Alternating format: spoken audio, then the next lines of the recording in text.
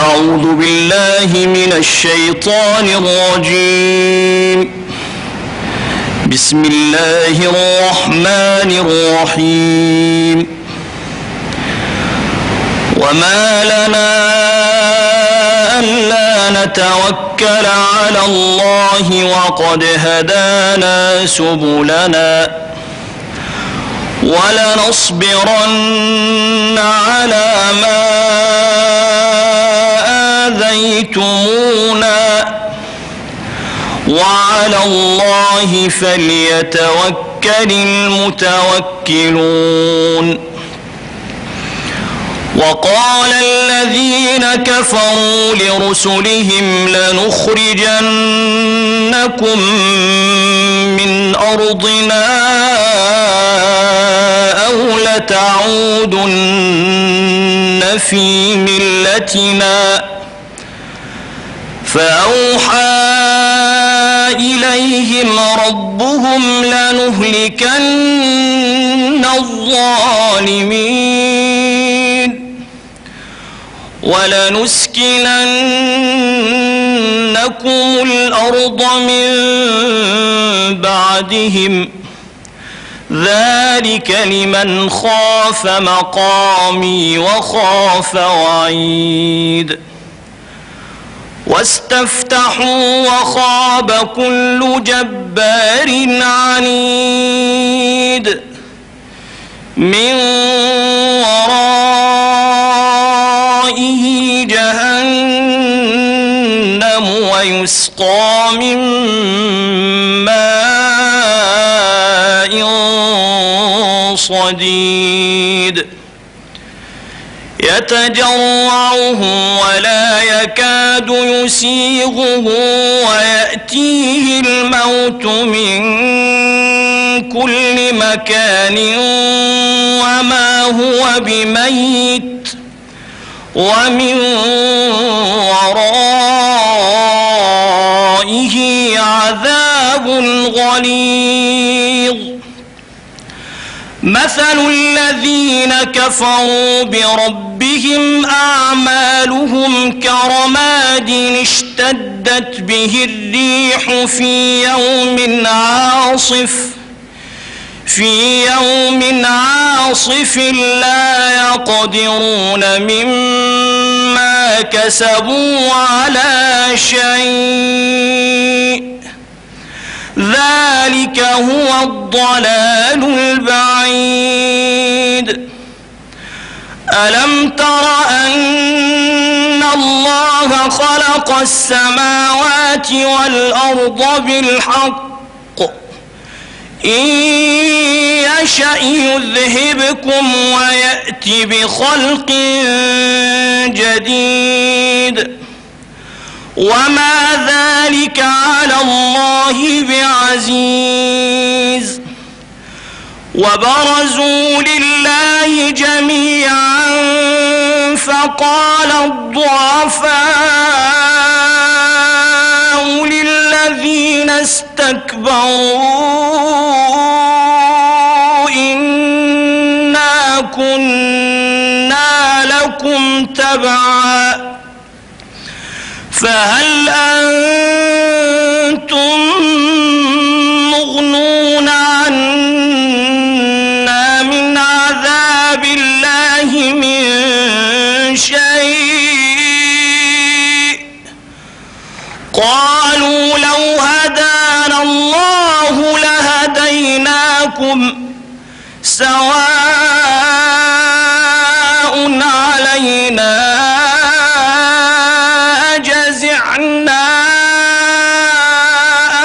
صبرنا ما لنا من محيص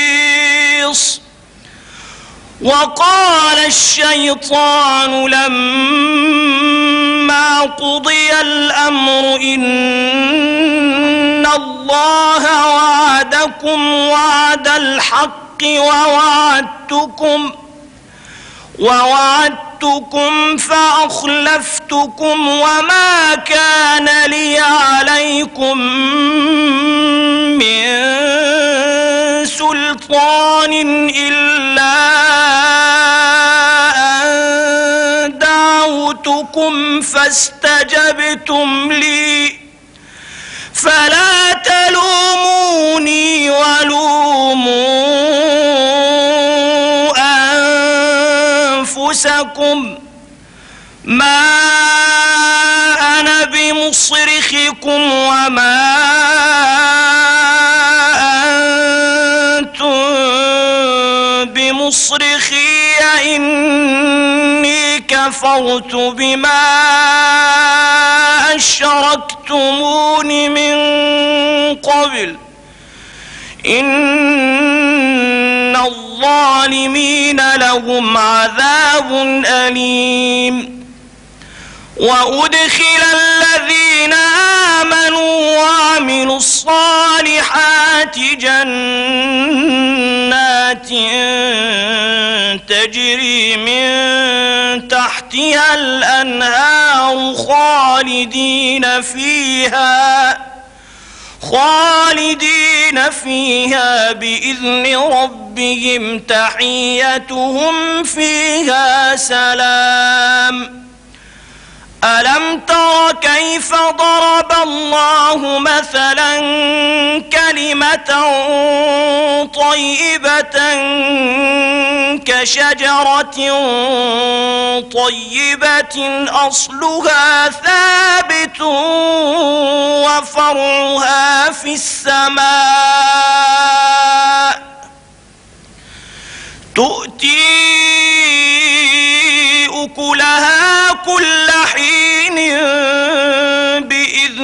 ربها ويضرب الله الأمثال للناس لعلهم يتذكرون. ومثل كلمة خبيثة كشجرة خبيثة اجتثت من فوق الأرض ما لها من قرار.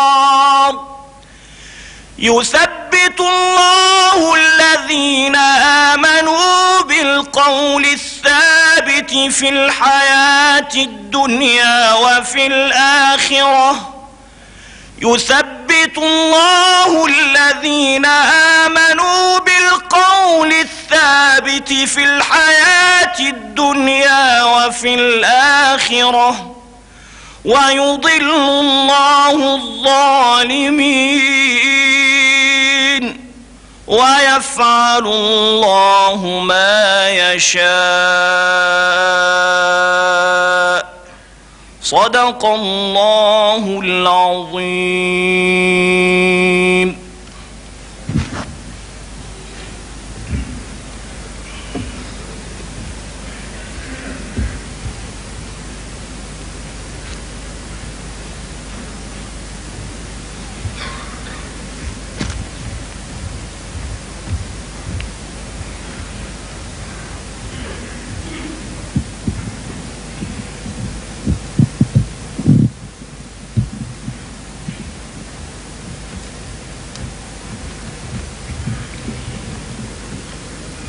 باسم الدائرة الثقافية في حكومة الشارقة يسعدني أن أقدم آه، في هذا اللقاء الأستاذ أحمد ديدات الداعي الإسلامي المعروف آه، والذي سبق أن التقيتم به آه، في عدة لقاءات على أرض هذه الدولة المعطاءة ومحاضرته لهذه الأمسية عبارة عن جزء مما أعده الأستاذ ديدات لمناظرة ستجري في جامعة لويزيانا في الثالث من نوفمبر المقبل آه، وهي أي هذه المناظرة امتداد لسلسلة من جهود الداعي الإسلامي في توضيح وجهة النظر الإسلامية حيال الكثير من الادعاءات والتحريفات والتشوهات التي يعاني منها المجتمع الغربي وبخاصة فيما يتعلق بالتوجه والتصور الإسلاميين في المجتمعات الغربية.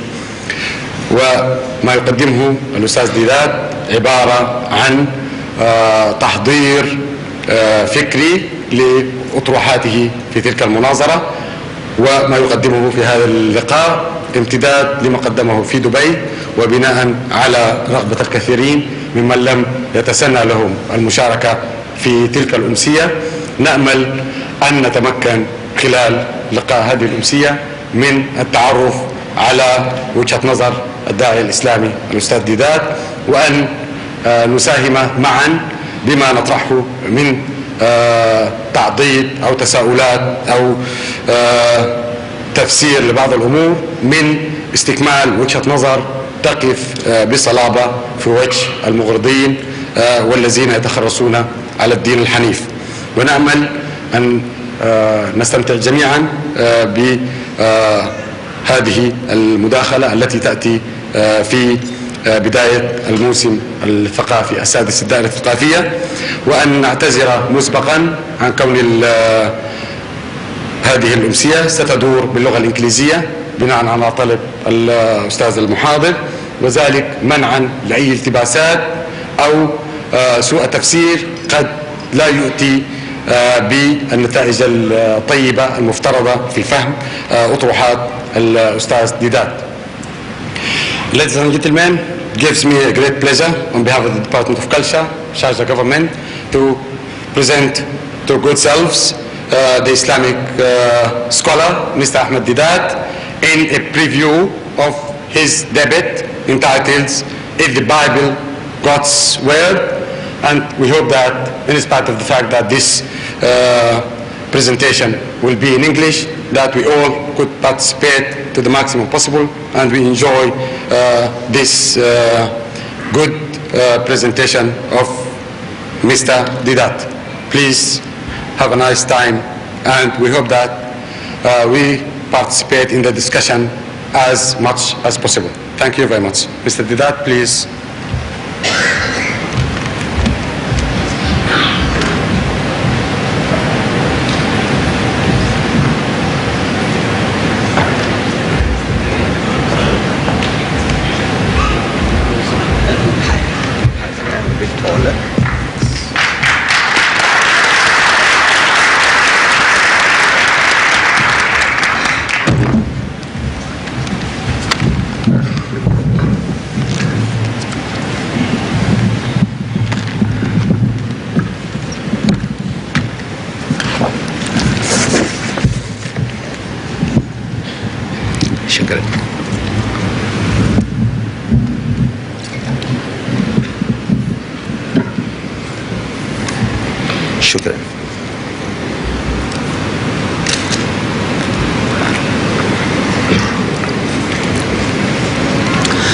أعوذ بالله من الشيطان الرجيم. بسم الله الرحمن الرحيم. فويل للذين يكتبون الكتاب بأيديهم ثم يقولون هذا من عند الله. ليشتروا به ثمنا قليلا. وويل لهم مما كتبت أيديهم. وويل لهم مما يكسبون. صدق الله. صدق الله صدق الله العظيم. My, Mr. Chairman, Mr. Chairman has just vanished. Uh, my dear brothers and sisters, I have just read to you a verse from Surah Al-Baqarah, that is chapter 2, verse number 79, in which Allah Bari Ta'ala tells us about the people of the book writing the book with their own hands and attributing it to Allah subhanahu wa ta'ala. This book, the Holy Bible, they say this is the book of God. This is dictated by God. Allah says, no, they have written this with their own hands and they're attributing to me. So woe to them who write this and woe to them for what benefit they get thereby. Now this subject of the Holy Book, the Bible, is a subject of a debate to take place in Louisiana in America on the 3rd of November. It's almost around the corner. And I was on my way there when the brethren in Pakistan here, they said, look, we want you to share with us, you know, what is going to happen there because we can't all be present there. Please tell us something about it. I had spoken on this subject at the folklore hall and the hall was too small, people get, couldn't get in. And so by public demand, I am made to repeat that lecture from the folklore hall. So I hope Some of you who might have been there, please bear with me. The subject is, is the Bible God's Word? Now, this is a question that is being thrown at me over and over again by the Christians. Say at my public lectures, every lecture is followed by questions and answers. We do not want to push anything down people's throats. The Christians don't do that. They lecture to you for an hour, two hours, they push things down your throat and no questions. Take it or leave it. So in other words, you are made to sit like sitting ducks and they shoot at you and they go away. Now we do not take unfair advantage of uh, people of other faiths, when we speak on any topic, he said at every time you have a right to question, to rectify the man, expose his falsities, whatever, you have a fair chance. So at question time, generally the Christians ask, the missionary, do you believe in the Bible as the word of God? If you say yes, you are hooked. And if you say no, you are hooked. It's either way. It's head I win, tails you lose. If you say yes, then he makes you to accept each and every word and phrase as the word of God, as binding on you. If you say no, he tells his other Christian brethren, he said, you see, this man doesn't believe in the Bible. What right has he to expound it? So either way you lose. Heads I win, tails you lose. So in answer to that, I ask, the Bible that you are asking about, whether I accept the Bible as the word of God, so I said, do you accept this Bible as the word of God? He said, what Bible is that? I said, why? I thought you say the whole Christian world, there is only one Bible. If there is only one Bible, then why should you ask me what Bible is this? Now at the back of his mind, he knows that there is not one Bible. They have versions and versions of the Bible. There is a Roman Catholic version of the Bible. There is the authorized King James version of the Bible. There is a New World Translation by Jehovah's Witnesses. There is a revised version of the Bible. There is a revised standard version of the Bible. There is an American standard version of the Bible and on and on and on. Different, different versions of the Bible. So the Christian says, you see, it's the same as your translations. You have translations of the Quran done by different people. Version and translation is the same. We say version, you say translation. He says, no, no, no, no, no. It is not so. You see, the translations of the Quran done by Mohammed Pickthall, by Abdullah Yusuf Ali, by uh, Maulana um, Maududi and on and on, these are translations where the person has a choice of words. A choice of words. He can use different terms for the same thing, synonyms. But the version, the difference the version makes is this that this is the oldest Bible. This is the Bible of the Roman Catholics. The Roman Catholics. They number over 700 million in the world today. You know, Baba, Pope, the Pope as the head. This is their Bible. And this Bible has 73 books inside. There are, the Bible consists of so many books. Like we say surahs in the Quran, they talk about books. And in this Bible, which is an encyclopedia of 73 books, but the Protestant world, the rest of the world, you know, they call themselves Anglicans, Methodists, Presbyterians, Lutherans, and on and on and on. There are a thousand sects and denominations among the whites of South Africa and 3,000 among the blacks of South Africa. They opt for this known as the authorized version or the King James version of the Bible. Now this Bible has 66 books. This one had the first one, though it looks, looks so small and stumpy. I don't know why the Catholics keep, Catholics keep on producing thing in this format. But this seven of the books that are in there, the Protestant world threw them out. They threw them out we know nothing about these things. They are telling us, is no, no, no, no. Those seven books are not authentic. They call them apocrypha. It's a technical term meaning zaif, weak, doubtful. It is of doubtful authority according to the Protestants, so they threw it out. So can you see the difference in the version? Seven books thrown out. Seven less, seven less here. So it's a different thing from the Quran. Nobody takes out a surah, nobody takes out a verse in his translation and he says this is a, a version of the Quran. There's no such thing as a version. Translations, yes. Same verses, maybe a variation in the terminology.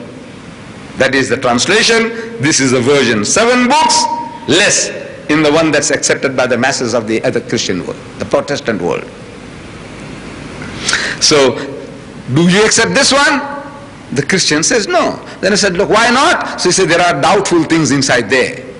So I said, look, I agree with you. I agree with you. You say doubtful, so I agree with you that there are doubtful chapters there, books there. Now the Christian is offended with us for taking such a stand.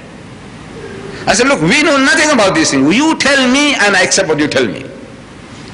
So you say this is the best, this is what you're using. So all right, I said, let's have a look at this. I said, you see, this one goes to 1611.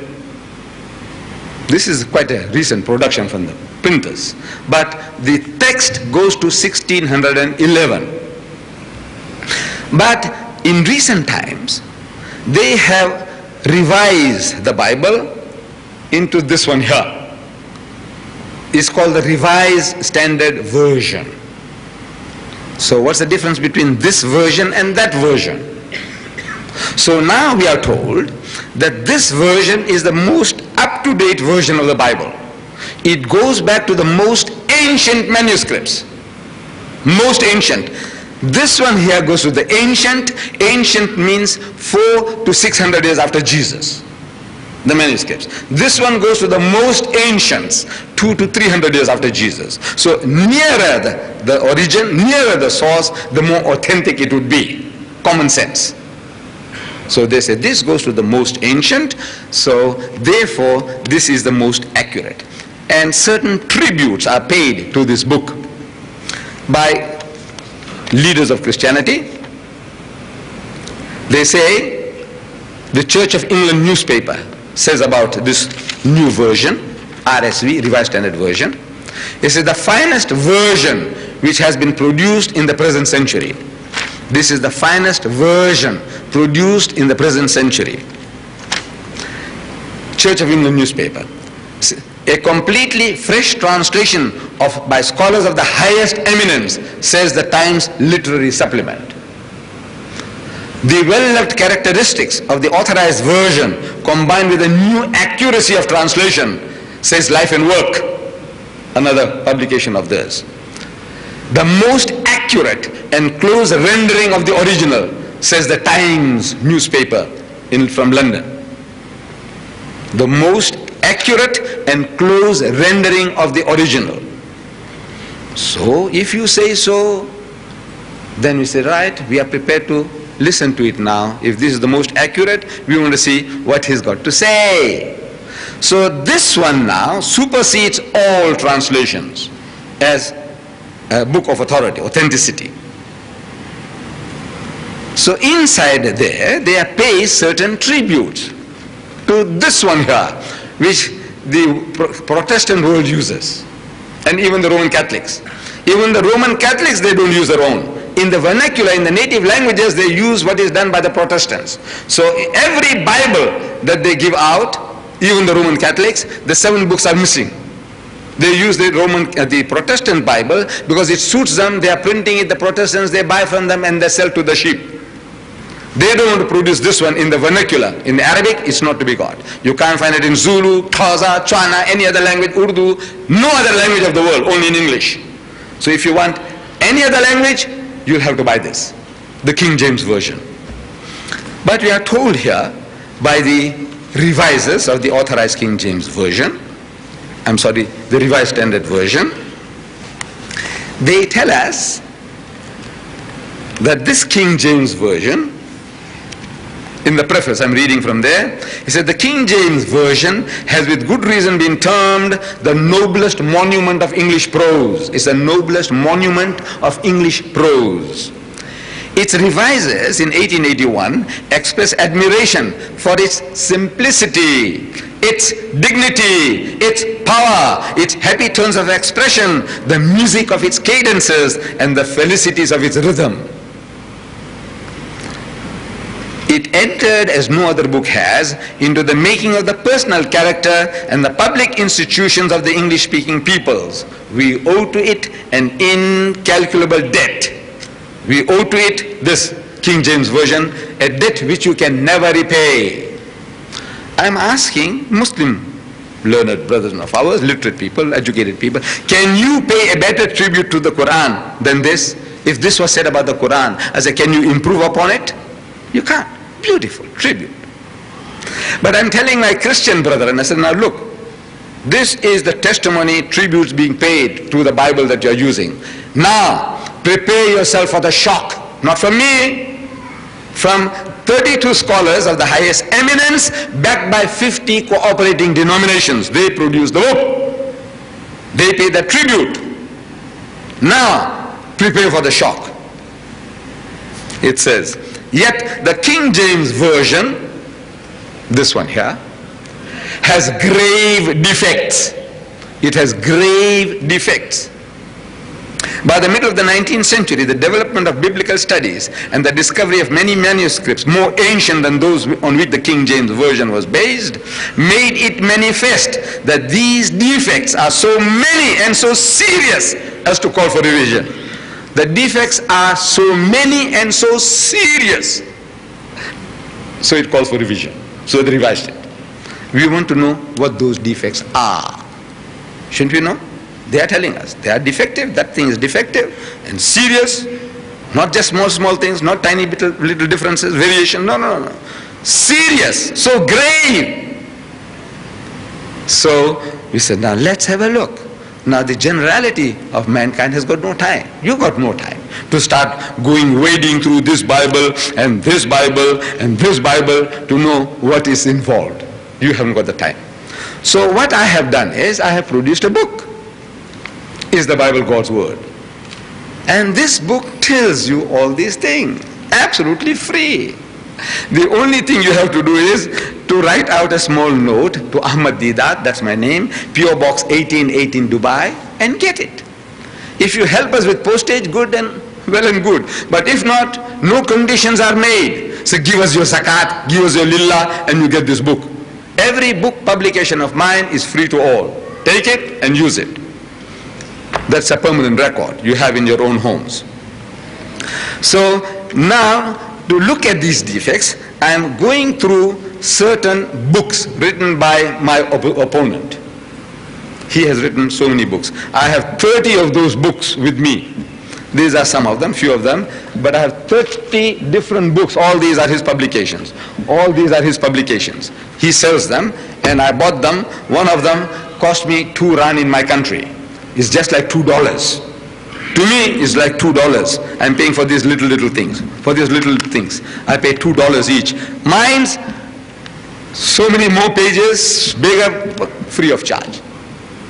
It's, it's in the service of Allah. Take it, use it. So, in his books, he makes mention of certain chapters and verses, certain verses, which are now not to be found in this Bible. They are not here in the Revised Standard Version. Why are they not here? We want to know. Why did you take out important things, the kingpin of Christianity? You see, the Christian missionary, when he goes anywhere in the world to preach, when he preaches, he can't help quoting John 3.16, name of a book called John, the Gospel of St. John, chapter 3, verse 16, where it says, For God so loved the world that he gave his only begotten Son. He sacrificed his only begotten Son to wash away your sins, that whosoever believe, you be saved. John 3.16. No missionary can do without such a verse. Allah Ta'ala sacrifices only begotten Son. So I look for it here, John 3.16. He said the word begotten is not there. They took it out. So why did they take it out? You know the Muslims, we were supposed to object. Allah Bari Ta'ala in the Quran, as if he cries about this. In Surah Maryam, he says, وَقَالُوا اتَّخَذَ الرَّحْمَنُ وَلَدًا And they say that Ar-Rahman, the merciful God, has begotten a son. In answer to that, Allah says, لَقَدْ جِئْتُمْ شَيْئًا عِدًّا It's one of the most abominable assertion one can make. The worst swearing you can give Allah is this. To say that Allah begot a son. Because this is to attribute an animal nature. The lower animal functions of sex to Allah. That is like a man or an animal. Astaghfirullah. So Allah reacts strongly. Says, تَكَادُ السَّمَاوَاتُ يَتَفَتَّرْنَ مِنْهُ Edit the skies are ready to burst. وَتَنْشَقَّ الْأَرْضُ And the earth to split asunder. وَتَخِرُّ الْجِبَالُ حَدَّ And the mountains to fall down in utter ruin. And the awlir rahmani walada. That they should say that Ar-Rahman, the merciful God has begotten a son. The worst swearing you want to give Allah, you want to swear him, this is the worst thing you can swear. Like the worst swearing I can give you is to swear your mother. Anything else, you overlook you will tolerate. If you have an argument with me, I'm an old man. And old people, they say, have a tendency to lose their tempers very quickly. That you know. So, in anger, I say, you're a fool. What will you do? You'll punch me? No, says, old man. You know, says, he's calling me a fool. I say, you know, you're an ox. You know ox? You're an ox. What do you do? I say, you're a monkey. I say, you're a donkey. What do you say? You laugh it off. Ah, old people, you know, they have a tendency to talk, you know, strong language, strong in the condemnation. like um, an old man, he went to the Hakim, the doctor, and he's complaining. He says, Dr. Sahib, you know, respected doctor, you know, I, my visibility is very, very poor. I can't see properly.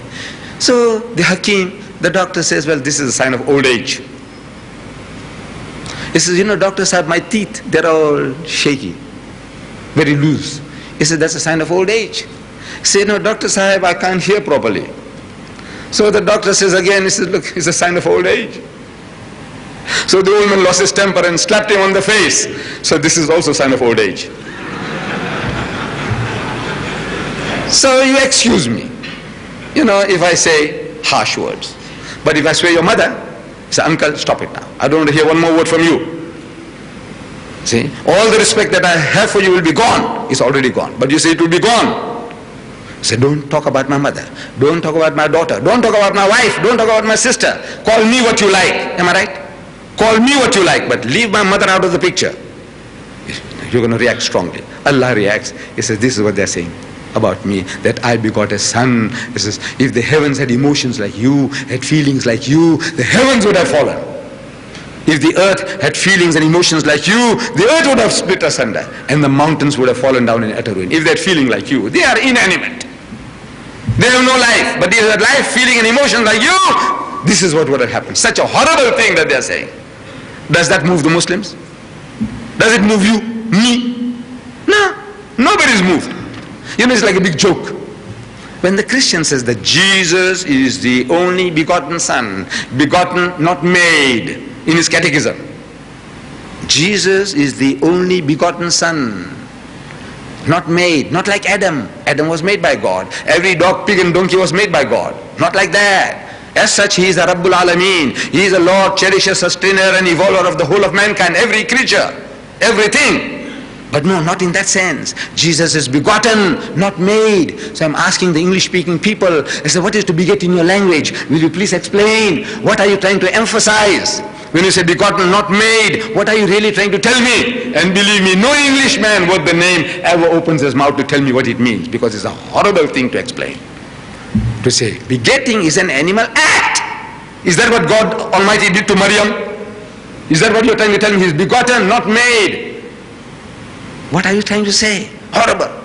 No, no Englishman in my life yet has explained to me what he's trying to say, except an American.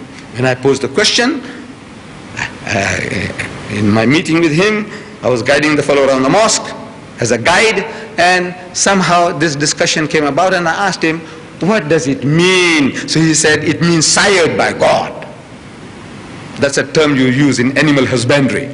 You know, this horse sired that one and sired that one. You know, that's they use it in animal husbandry. Or the bull.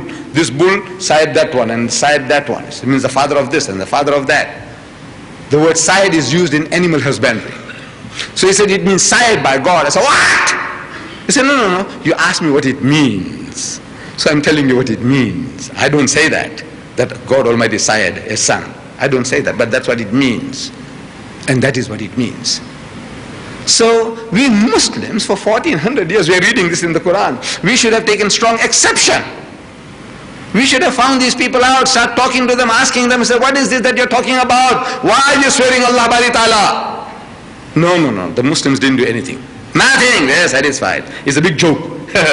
you see this guy, you know, he doesn't know what he's talking about. Big joke. The Christians themselves now threw this word out from the Holy Bible, from the Holy Bible, that this is, was an interpolation.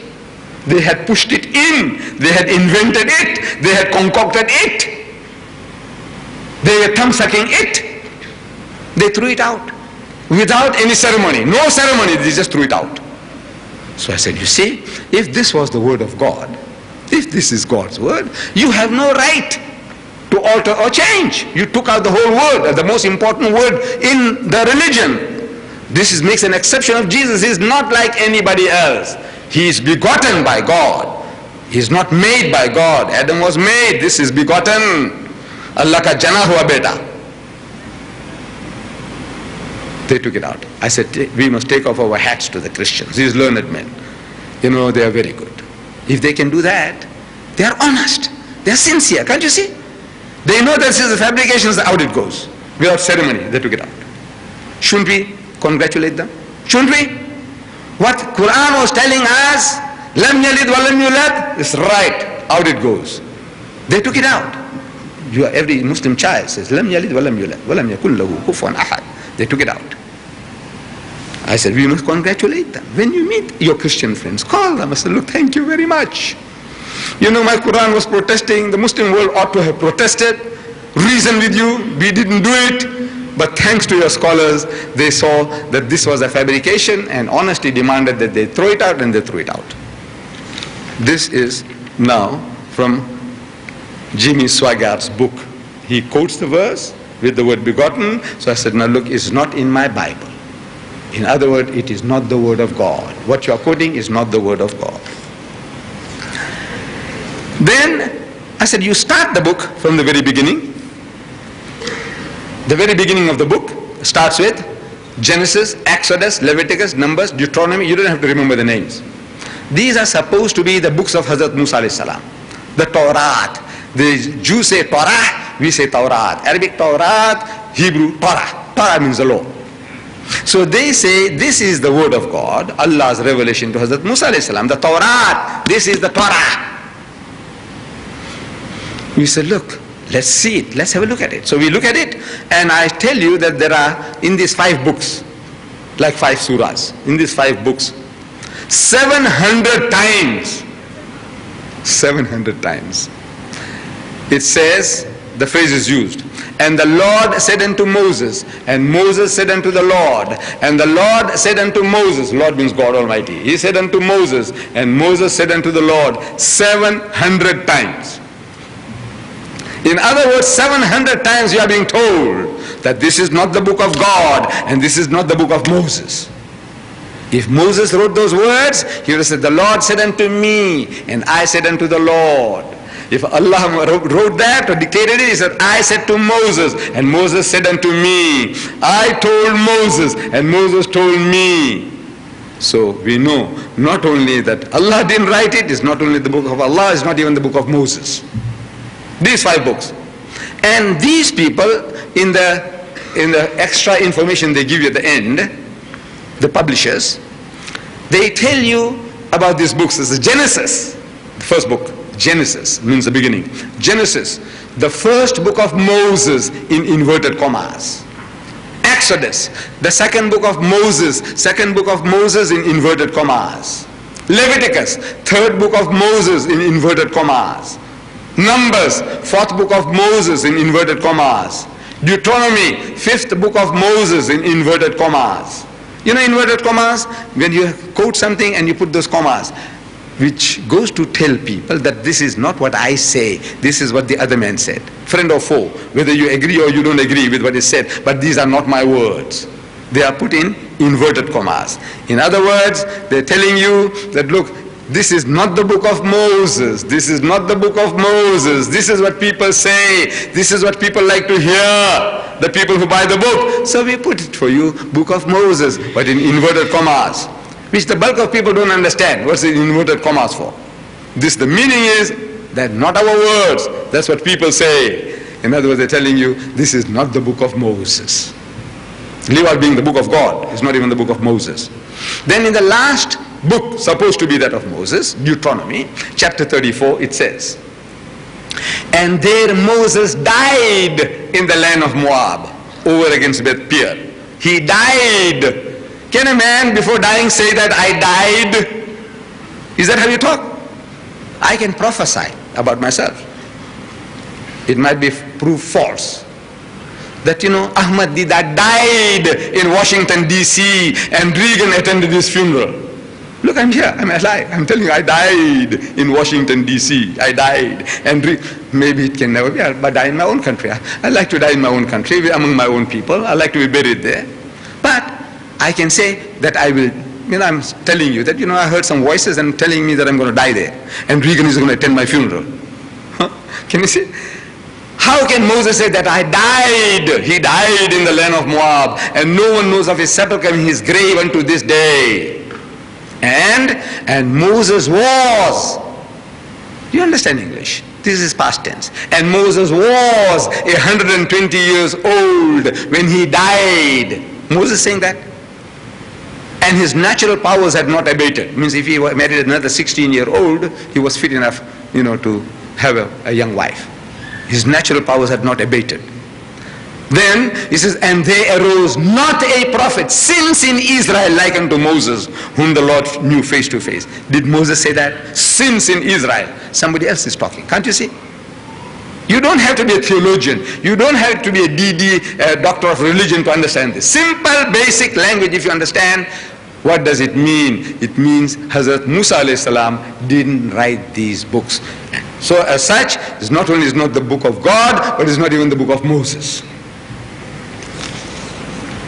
Coming to the New Testament. Coming to the New Testament. In the King James Version. In some modern translations, they have omitted these words which I'm going to say now. But in the King James Version, which Brother Swaggart uses. This is the one he uses. And this is the one he sells. In his books, he's advertising this Bible, $25. And a little fancy, $50. You know, in my country, I'm offering this book here, the Holy Quran, with Arabic text, English translation, and commentary, 1,920 pages for 10 rands. That's $5. 10 rands, $5. And if you can't afford it, as it's free. Just write and get it. Free. Every school, university, public library, absolutely free. Every mosque and madrasa, free. And if you can't afford it, free. Only thing I can't give you free is because I have to send it by air. That's going to kill me. That air alone will cost me about four or five times the amount of the value of the book, which I can't afford. But in my country, I says, come, take it. Take it. You can't afford it. You say you're earning thousand dirhams a month and you got half a dozen children and you can't afford. Take it. Big business. Bible is big business. So he advertises this book here. King James Version. And in the King James Version, the New Testament starts. First book, the first book is the Gospel according to St. Matthew. Second book, the Gospel according to St. Mark. Third book, the Gospel according to St. Luke. Fourth book, the Gospel according to St. John. I'm asking, what is this according to? According to, according to. Why according to? You see, you don't catch the joke. You just read the gospel according to Matthew, Matthew, according to Mark, according to Luke, according to John. I said, what is this according? Why according to? This little publication, it says there, Ahmad Deedat. That's my book. I wrote it. I'm responsible. You can take me to task. If I have made some utterances here which are false, you can take me to task because this is my book. But if it was according to Ahmad Deedat, that means somebody else wrote it. Not me. You are telling that according, maybe it was not according to what I'm thinking, but you're attributing things to me. It could be a lie against me, but if I wrote it, I'm responsible. But if somebody attributes something to me, say, according to Mr. Deedat, it could be false. So every book begins according to, according to, according to, because Matthew didn't sign his name, Mark didn't sign his name, Luke didn't sign his name, John didn't sign his name. These are not, these are anonymous books. Somebody had written. And they just say, well, I think this Matthew could have. You know, I think this is the work of Mark. I think, you know, it, is, it seems to fit, uh, fit Luke's mentality. I think you know, only John could have spoken like that. So according, according, the internal evidence also shows, like for example, that Matthew didn't write Matthew. Matthew, chapter 9, verse 9. It says, while he, that is Jesus, was going forth into the way, he, Jesus, saw a tax collector called Matthew and he, Jesus, came up to him, Matthew, and said unto him, Matthew, follow me, Jesus. And he, Matthew, followed him, Jesus. I'm asking, did Jesus write that? Did Matthew write that? If Matthew wrote it, he said, while he was going forth into the way, he saw me collecting taxes at the tax collector's table. And he came up to me and said unto me, follow me, and I followed him. That's Matthew talking. But this is somebody writing in the third person. See, not the words of Jesus, not the words of Matthew. And one of the leading lights of the Christian world, J.B. Phillips, an Anglican, a prebendary of the Chichester Cathedral in England, he translated the Gospels, the New Testament, into modern English. See, most of this English here is archaic, you know, old-fashioned. Thee and thou and thine. So he brought it down to this ordinary, usual level colloquial level. The Gospels into modern English. And in his preface to the Gospel, he says, early tradition ascribed this Gospel to the Apostle Matthew. That's what people said, that Matthew wrote the book. But scholars nowadays almost all reject the view. Who scholars? Muslim scholars? Jewish scholars? Hindu scholars? No. Christian scholars. Christian scholars of the highest eminence they say that Matthew didn't write Matthew. Say the author, whom we may still conveniently call Matthew, conveniently. Because instead of saying the first book of the New Testament, chapter 9, verse 9, the first book of the New Testament, chapter 5, verse 17, wasting my breath, wasting time in writing, wasting space, ink. He says, no. So I said, Matthew 9, 9. I said, Matthew 5, 17. Conveniently, I'm using the name, the term. Say the author, whom we may still conveniently call Matthew, has plainly drawn on the mysterious Q. Now this Q is in inverted commas. It stands for the German word Quella, means sources, some mysterious sources which might have been a collection of oral traditions. He has used Mark's gospel freely. This man, who's supposed to be Matthew, has used Mark's gospel freely. In the language of the school teacher, he has been copying wholesale from Mark. In the language of the school teacher, he's copying wholesale from Mark. And Mark was a 10-year-old boy when Jesus walked this earth. Can you imagine an eyewitness, a ear witness, a companion of Jesus? He goes and copies a 10-year-old boy who wasn't there. Does it make sense to you? If it was Matthew, would he go and copy somebody else? And a child of 10? So therefore we know not only that it is not the word of God, but it is not even the words of Matthew. Further quotations, those grave defects that we are talking about, the Holy Trinity is another topic at which, with which we are at variance. See, this word Trinity, Trinity, the Christian world believes in it. The Roman Catholics, the Protestants, they all believe in the Holy Trinity, in which they say the Father is God, the Son is God, and the Holy Ghost is God, but they are not three gods, but one God. The catechism, it continues, is that the Father is Almighty, the Son is Almighty, and the Holy Ghost is Almighty, but they are not three Almighties, but one Almighty. It continues. The Father is a person, the Son is a person, and the Holy Ghost is a person, but they are not three person, but one person. I'm asking the English-speaking peoples. I say, I say, what language are you talking? That's not English. That's gibberish. Not even Greek. It's gibberish person, person, person. But not three person, but one person. What, what are you talking about? But you see, we are so odd. You know, we think the man knows his language. That's what you think. So you, you dare not ask him what does it mean. How can it be person, person, person and not three person but one person? How can that be? No, no, you dare not ask him because you think maybe in his language he can justify it somehow. I tell you, there is not a Christian born with his DDs and whatever degrees who can justify person, person, person, but not three person, but one person. I'm asking him, what is a person? In your language. Sir, what is a person? I said, you and your two other brothers are identical triplets. I can't make out the difference between the three of you. One of you commit murder. Can we hang the other? According to your Christian law? He says, no. I said, why can't you?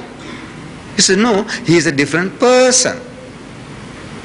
That's the right meaning. He's a different person. I said, but I can't make out the difference. Said, look, whether you can or you can't. He is a different person. So, if your personality is different, you are different. You can't be the same. And in the mind, ask any Christian. When he says in the name of the Father and the Son and the Holy Ghost, he's got three distinct mental pictures. Father looks different, Son looks different, Holy Ghost looks different. I won't go into details.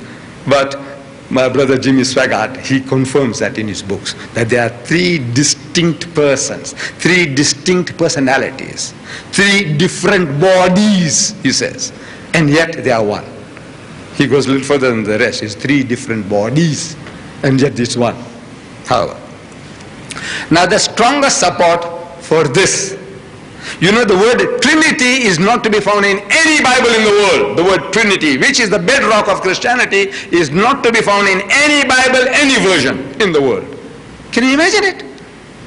The foundation, like the kalima. Can you imagine Allah is Allah is wahdahu sharik, he is one and Muhammad is messenger, is not in the Quran and yet we say we believe in it. No, it is in the Quran. But suppose it's not in the Quran. Allah is one, La ilaha illallah. There is no ilaha except Allah, and Muhammad is Rasulullah. If it is not in the Quran, and yet we believe in it, that's the foundation of our, our faith. His foundation is Father, Son, and Holy Ghost. Trinity. The word Trinity is not to be found in any Bible in the world. But amazing thing, it is in the Quran. Do you know that? The word Trinity is in the Quran. But it is a, a denial of it. It says, Allah says in the Quran, about Trinity. He says, Wala takulu thalasa. Don't say Trinity. Don't say Trinity. Intahu khairal lakum. This is, stop it, it will be better for you. Innam Allah ilahum wahid. For your Allah is one Allah, is not three in one, is not one in three. The word Trinity is in the Quran, but it says, don't say that. The strongest support that the Christian has for Trinity is a verse which Brother Jimmy Swaggart, he quotes in his book, in his book called The Error of the Jesus Only Doctrine. It's another cult among the Christians. I didn't know about them until I read this. The Jesus Only Doctrine. In that he quotes the first epistle of John, chapter 5, verse 7, where it says, For there are three that bear record in heaven, do shahada, in heaven, the Father, the word, word stands for Jesus, kalima. Kalimatan. You know, Allah Ta'ala gave His word upon Mary, bestowed upon Mary, kalima. The Father, the Word, and the Holy Ghost, and these three are one. Clear statement about the Trinity is there. First epistle of John, chapter 5, verse 7. This is funny, you know, it's not in my Bible. It is not in my Bible. It's not here. Why is it not there? So, 32 scholars of the highest eminence, backed by 50 cooperating denominations, they say this was another fabrication. This was another interpolation. This was another adulteration. So they threw it out without ceremony, not even a remark at the bottom to tell you what they have done. It's just out. It's not there. Look, you didn't do the job. We didn't do the job. We didn't tell the Christians, Wala takulu salasa. Nobody. As a matter of fact, some leading lights here, they're telling me, why are you telling all this to the Christians? Why don't you leave them alone? I don't want to take his name. I met him this morning. Very important person in your country. He said, what is all this Christian? What you're talking about Christianity, about the Bible, Bible, wasting time. Look at the Muslims, they're not perfect. they're not, and they're not perfect. Wallah, we are not perfect. But I says, you know, you, my brother, you Arab, he's Arab. I said, you read the Quran? I says, you know, one third of the Quran is addressed to Jews and Christians. Do you know that? One third of the Quran is addressed to Jews and Christians. Ya Ahl al-Kitab, Ya Ahl al-Kitab, Ya Bani Israel, Ya Bani Israel. Who, you Bani Israel? You Ahl al-Kitab? Say no, Jews and Christians. Are you Jews and Christians? No. Allah says, Wala takulu salasa. Do you say Trinity? Do you? No. Who is he talking about?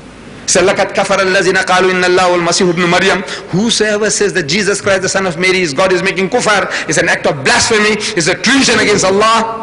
وقال المسيح but Christ said يا بني إسرائيل O children of Israel لعبدوا الله worship Allah ربي وربكم who is my Lord and your Lord إنه من يشرك بالله whoever will associate anyone with Allah فقد حرم الله للجنة Allah will make Jannah haram for them ومأواه النار and the fire of hell will be the dwelling place وما للظالمين من أنصار and for the wrongdoers there will be no one to help do you say that Jesus is God do you no one third of the Quran is addressed to Jews and Christians so I said, you know you? He's an Arab. With apologies to my other Arab brothers. He's an Arab. I said, you know, all these verses must be taken out from the Quran and put into a museum. Don't you agree? If these are not to be used, then put it in a museum. Why are you making our Hafiz and Qaris and everybody to waste their time reading it when it's not supposed to be used? Allah wants you to use it. He's crying, he's protesting, and you have done nothing. We have done nothing. Now if somebody comes along trying to do, putting up a little act, may Allah accept this, you know, to say, look my brothers, this is what it is. Look, I'm showing it to you. I say, look, this is how easy it is to use it. It's there. They are giving them ammunition to you. Use it. So, without we protesting, we should have said, Wala takulu salasa, deliver the message to the West. Nothing doing. We didn't do it. We couldn't do it among the Arabs ourselves. Six million Coptic Christians in Egypt. They say salasa. Did you tell them, Wala takulu salasa? They say that Jesus is God. Did you tell them, Lakat kafar allazina kalu inna Allah wal masih ibn Maryam? Did you tell them, Wama kataluhu wama salabu? No, you're not doing it. They are doing it for you. They took it out. This wasn't the Trinity. They threw it out as an interpolation, adulteration, fabrication. Shouldn't we take off our hat to them? Shouldn't we? Great men. So I said, look, if this was the word of God, you couldn't have thrown it out. God would have protected his book as he tells us, promises us in the Holy Quran. Say, Inna nahnu nazzalna dhikra wa inna lahu lahafizun. That it is for us to send down the revelation and it is for us to protect it. This is his promise and he's done the job. He's protected his book. Here, everyone, seven books thrown out. Here, chunks and chunks are being thrown out. By who? By themselves. It is for us to take this up congratulate them and bring them towards Islam. They are coming towards Islam, but they are dragging their feet. Encourage them. They are dragging their feet like cripples. I said, no, no, no, brother, come. Ahlan wa sahlan. We are very good at that. We did it to the Jews for a thousand years. You know that? When there were pogroms against the Jews in Europe, in Poland, Germany, France, England, they were killing the Jews, murdering and raping their women and burning their homes. Every Easter, the Christians reminded themselves that these are Christ killers. They kill our God and they kill them, burn their homes and rape their women. And they ran, and they ran, and they come to Muslim lands, and the Muslims say, Ahlan wa sahlan. Come, most beautiful words of welcome. Ahlan wa sahlan. And they came, and they lived with us for a thousand years. And in a thousand years, we didn't convert a thousand Jewish families to Islam. This is how good we are. Why? Uh, they are following Hazrat Musa alayhi salam. They are the, you know, uh, they are the Ahlul Kitab. Allah is telling you, tell them, Ya Ahlul Kitab, ta'alaw. No, no. You didn't do that. He said, let us remain the status quo. No, don't disturb them. Your cousins. So now, this is what you are paying for now. Neglect 1,000 years. You had the opportunity to talk to the Jews. You could have absorbed them intermarriage, this, that, there, will, there wouldn't be any Jews to be found anyway, in the Middle East at least. No, you didn't do that. You kept them where they are. So now you pay the price. This is the revenge. As if Allah is taking on your. You didn't do it. So now look, I'll make them to sit on your head. Just tabdil qawman ghayrakum. Says you substitute in your place another people. Thumma la yakun amsalakum. Then they won't be like you. There are things in the book stories and stories. Our brother Swaggart, he writes beautiful books. His works are very powerful. Books, pornography, books, Sodom and Gomorrah, his book, incest, his book, alcohol, America's greatest problem, his book, homosexuality, its cause and its cure. Very powerful books. If you have access to them, if you can buy them, I say buy them very good work he in these books is talking like a Muslim his condemnation of evil is like a, that of a Muslim maybe he doesn't go far enough his theology is wrong but his ethics and morality on these topics, I can't improve on it. I can't improve on that. His ethics and morality is good. He tantalizes people. He mesmerizes people. People can eat out of his hand. Like you call a dog a puppy, and the dog comes along and licks your hand and eats away what is in your hand. He can do that to you. The master of speech. Allah has given it to him. But he's using it wrong theology.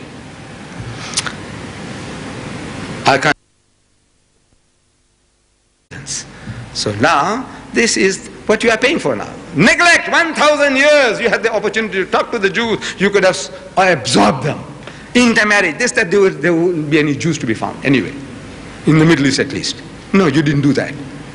You kept them where they are. So now you pay the price. This is the revenge. As if Allah is taking on your salah. You didn't do it. So now look, I'll make them to sit on your head. Just tabdil qawman ghayrakum. Says you substitute in your place another people. Thumma la yakunu amsalakum. Then they won't be like you. There are things in the book. Stories and stories.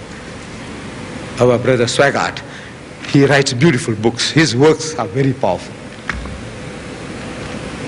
books, pornography, books, Sodom and Gomorrah, his book, incest, his book, alcohol, America's greatest problem, his book, homosexuality, its cause and its cure. Very powerful books. If you have access to them, if you can buy them, I say buy them. Good. Very good work. He, in these books, is talking like a Muslim. His condemnation of evil is like a, that of a Muslim maybe he doesn't go far enough his theology is wrong but his ethics and morality on these topics I can't improve on it. I can't improve on that. His ethics and morality is good. He tantalizes people. He mesmerizes people. People can eat out of his hand. Like you call a dog a puppy, and the dog comes along and licks your hand and eats away what is in your hand. He can do that to you. The master of speech. Allah has given it to him. But he's using it wrong theology. I can't deal with everything, but let me give you a little cursory glance at some of these things. Incest. Incest he said the dark stain on our society, American society.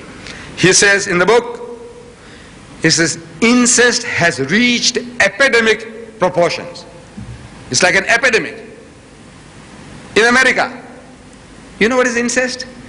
Anybody who doesn't know what is incest, please put up your hand. Don't be ashamed. If you don't know, then I have to explain. If you all know, then I can carry on. If you don't know what incest is, please put up your hands. Yes.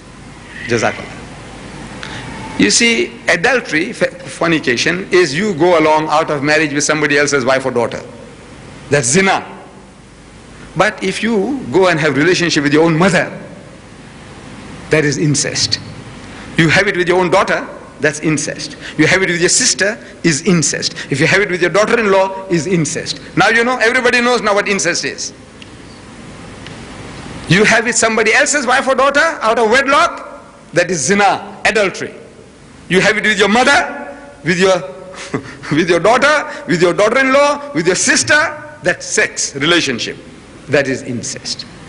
And in the Holy Bible, in this holy book of God, in inverted commas, I hope now you understand the meaning of inverted commas. In this holy book of God, there are 10 cases of incest. 10. 10 different couplings of these cases in the holy book of God. So what's the purpose? In the first book of the Bible, there are five cases of incest, five couplings in the first book. of the Bible, Genesis, there are five different incest cases. That book is a booklet. And in that booklet, the first book, five cases of incest. As if it is a textbook on incest. If you didn't know what were types of incest you can commit, you read the first book and it'll tell you. You can do it with your daughters, you can do it with your mother, you can do it with your daughter-in-law, you can do it with your sisters. It'll tell you. This is the book. The book of God. I said in inverted commas. I knew four cases. My own study. I get this little book, he gives me ten. But the four cases, he gives me one more, which I didn't see in the first book. Four I knew, he gives me one more. He is my teacher. He taught me that. There's one extra case of incest which I didn't know. It speaks there about Lut alayhi salam. After the destruction of Sodom and Gomorrah, he goes and lives in a cave, says the Bible, in a place called Zoar, him and his two daughters. And the eldest daughter tells the younger that our father is old you know, he's gone cold. And there's not another man on earth who can come in unto us in the manner of men. You know how what men do? That there's nobody else to do that to us. So come, let us make our father drink wine. I'm only reading the Bible, the Holy Bible, word for word. If anybody has it, open it and see, word for word. Say, our father is old, and there is not another man on earth who can come into us in the manner of men. So come, let us make our father drink wine, and we will lie with him so that we may preserve the seed of our father. They want to preserve the father's seed. And the eldest daughter makes the father drink wine, and she goes and lies with him, and he knew not when she lay down, nor when she arose. He didn't know. He was too dead drunk, says the Bible.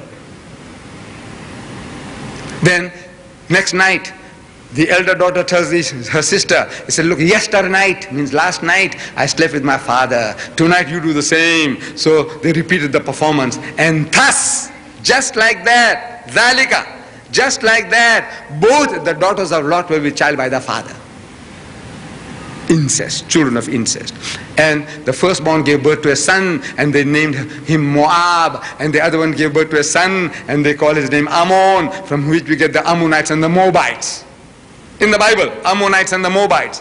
When the children of Israel when they were in the Sinai and when they were told to go and conquer Palestine, they were told, go and kill the Palestinians, men, women and children. Even sucklings are not to be spared. Little babies sucking the mother's breast not to be spared. Kill them all. But the children, the Ammonites and the Moabites thou shalt not touch because they are the children of Lot. Blessed. Father having relationship with his daughters, those children are blessed. But you Palestinians, you Arabs, rubbish, kill them all. This merciful God is telling the Jews, kill them all, men, women and children. Only, and not even sucklings. But he's more merciful some other time. In the book, in the book of Numbers, chapter 31, verse 31, he is more merciful to the Palestinians. Now he says, Kill them all, men, women and children, even donkeys are not to be spared. Kill the donkeys even. I said, what sin did the donkeys commit? That this God of mercy wants to kill even donkeys. What have they done? But kill even the donkeys. But virgins you must save for yourself. Women which no man has known and had no sexual experience. That woman you must save for yourself. And they saved for themselves, says the holy book, in inverted commas. 32,000 Palestinian virgins for themselves. And 30 and 2 was for the Lord. Lord means God. 32 was his share, God's share, out of those virgins, Palestinian virgins. I'm asking, what does the Lord do with virgins? What does he do? You tell me, what does the Lord do with virgins? Except in the name of the Lord, the priest will enjoy them. And how do you know that the woman is a virgin? A soldier in the field, he comes across a young woman. How does he verify? I leave it to your imagination. You say, Book of God, 10 cases of incest, and every incest case that I can quote you, blessed, blessed, blessed. They're blessed. You see, we tell stories to our children, fables, fairy tales, you know, imagination. Fox and the grapes. You know the story? The fox, he sees a, a vine of grapes, a bunch of grape hanging, and he jumps, wants to get grapes. You know, foxes don't go for grapes, you know that. Do you know that? Foxes don't, but this is a fable. Fable. So he jumps and jumps, and every time he jumps, he's losing his energy and he can't reach it. So, and he's fed up. The fox is fed up, so he says, Look, sour grapes. we all do that. You know that? When you can't get a thing, you say, oh, It's no good, it's rubbish. Sour grapes. So we are telling our children these fables to build a moral, a lesson. Don't be like that greedy fox. When you can't get a thing, it's bad, it's sour. Or like that greedy dog. He found a bone. He picks up the bone in his mouth and is crossing a wooden, wooden bridge over a, over a river. And he sees his own reflection in the water. Thinking that there is another dog with a bone in his mouth and is greedy for the other dog's bone. So he's a boo! And he loses what he has. So he said, my son, don't be like that. What God gave you, little bit, la in shakartum la azidannakum. He says, be grateful, Allah will give you more. Don't be greedy for the other dog's bone. Morals, morals. We're telling fairy tales to build morals in our children. Without morals, the thing is immoral. If there's no moral, you're wasting time. Dr. Vernon Jones, an American psychologist of great repute. You know, the Americans are great. I tell you, I can quote Americans, what what they say, beautiful things. An American psychologist of great repute, he carried out experiments on groups of school children to whom certain stories were being read. And he says, his conclusion, that these stories made certain slight but permanent changes in character, even in the narrow classroom situation. The type of stories you tell carries the type of mentality that they have. It's a foregone thing. You tell your children about jinn, boot, jinn, boot, you know, spirits. You know, you go outside, there's something, they will catch you. Shh, you see your child, how it behaves. Darkness, they can't go out even with a torch, won't go out. Why not? Because you talk about jinn, boot, jinn, boot, you know, these spirits. I don't know, say, ruh, ruh, what you call it? Spooks, you know, spook. I don't know what you say in Arabic. But spook, spook, you keep on telling your children about spook, spook, spook, they become spooky.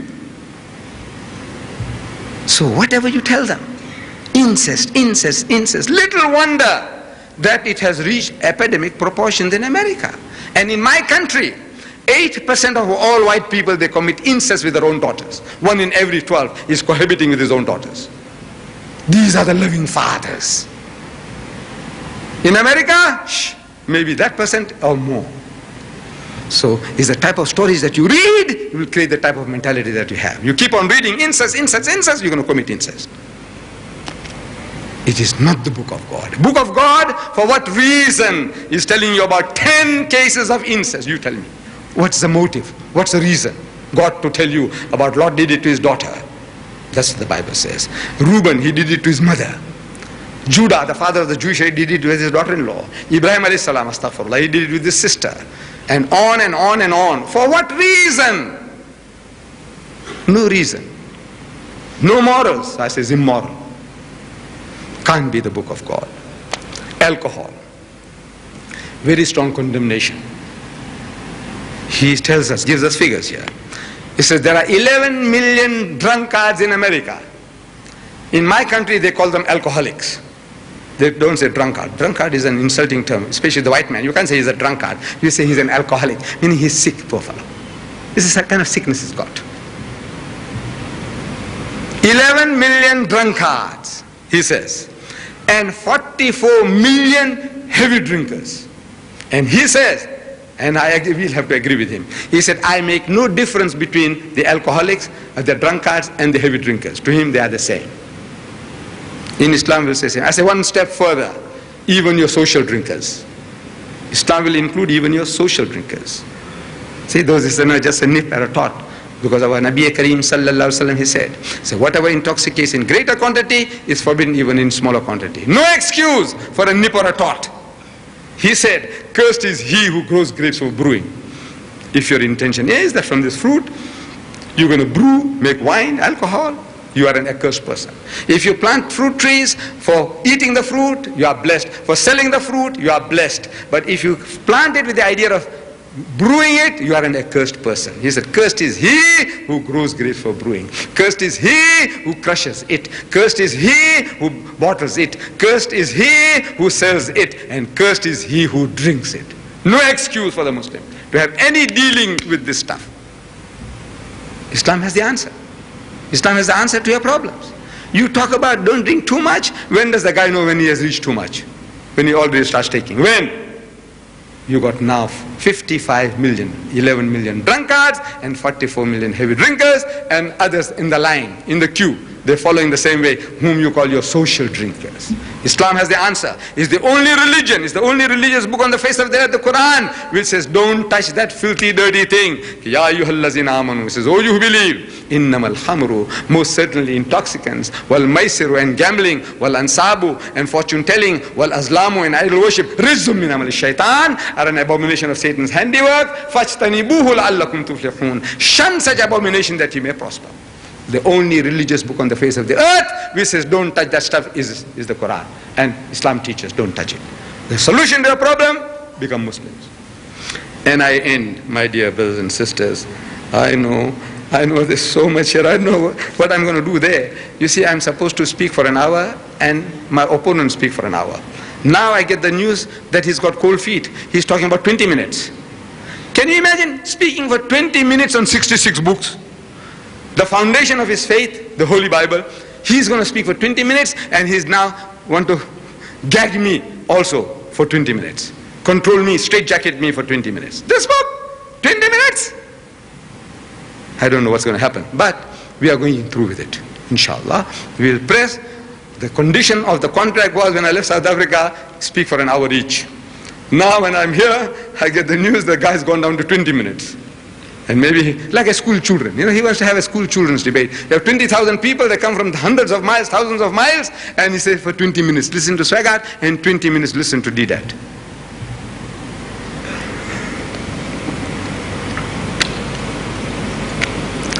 I'll end with this. He hasn't written a book yet. Out of the 30, one of the pressing problems of America is surplus women. Surplus women.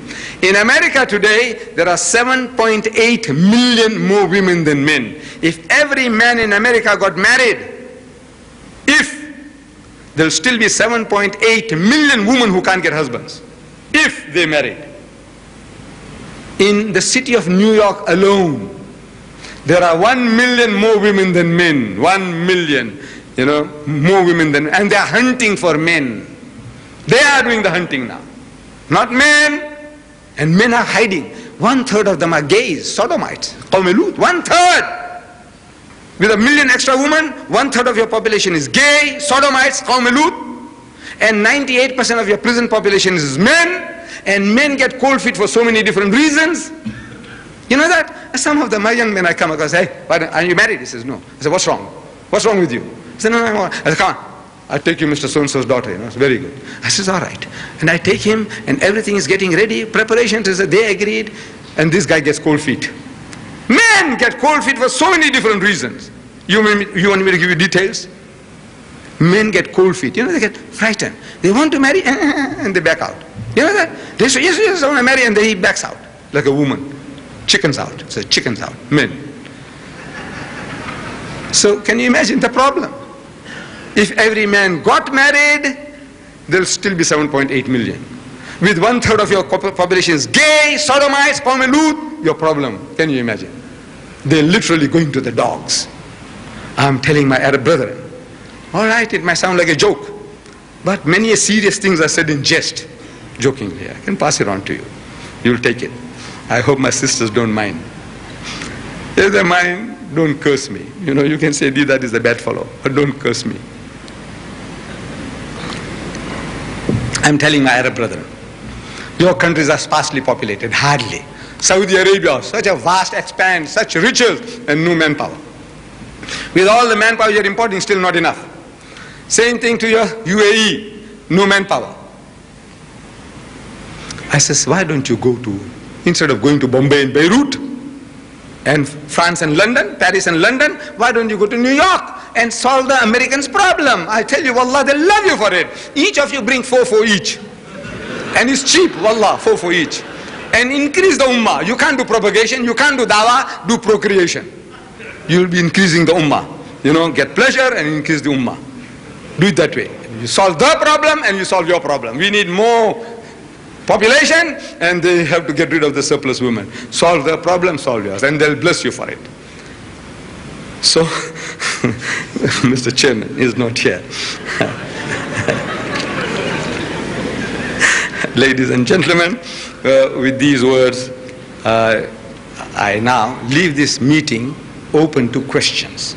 Maybe there are a lot of things that you want to know about this topic of the Bible or about any other thing relating to Islam and Christianity. I am your servant, I am at your disposal. I need your prayers. In this, Alhamdulillah, Allah has given me knowledge.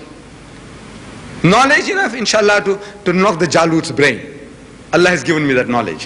What I need is your dua, your prayer. That may Allah Bari Ta'ala, you know, keep me going for a little while longer that I can serve Islam and that I may share with you, you know, some of these little knowledge that I have acquired that you may also in turn go and serve the Dinul Islam. Wa akhiru da'wana alhamdulillahi rabbil alameen.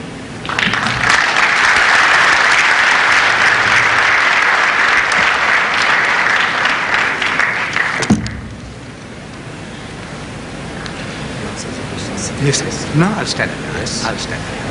They can ask questions. آه، شكرا للداعي الاسلامي الكبير الاستاذ احمد ديدات ونفسح المجال الان للاسئله والمداخلات لفتره نرجو ان لا تتجاوز 45 دقيقه كحد اقصى. Is the mic here or they can ask? Is there- There's no mic? No mic? Is there? They'll give you a mic.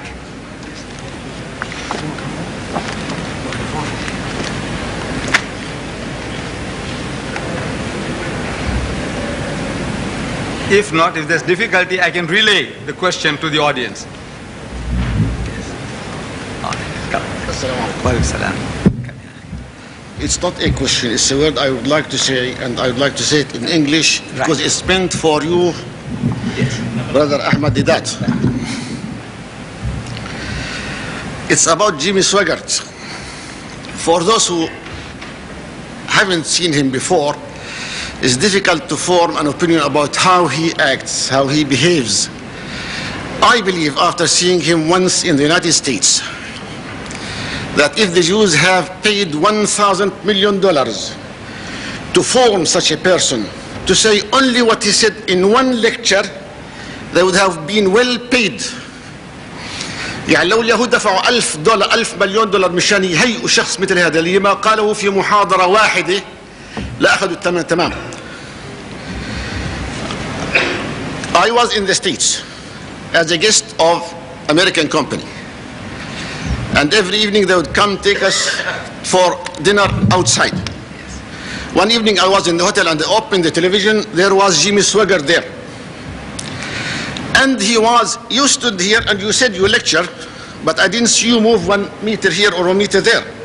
He was carrying the microphone, moving like a comedian or uh, dramatic actor, bowing himself here, making his hair like that. And he was talking about 11 stars.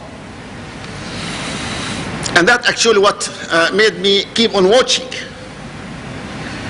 And he spent about 15 minutes praising those 11 stars, trying to convince people that they were the most blessed, most loved by God. Of course, he meant the sons of Jacob, the sons of Israel.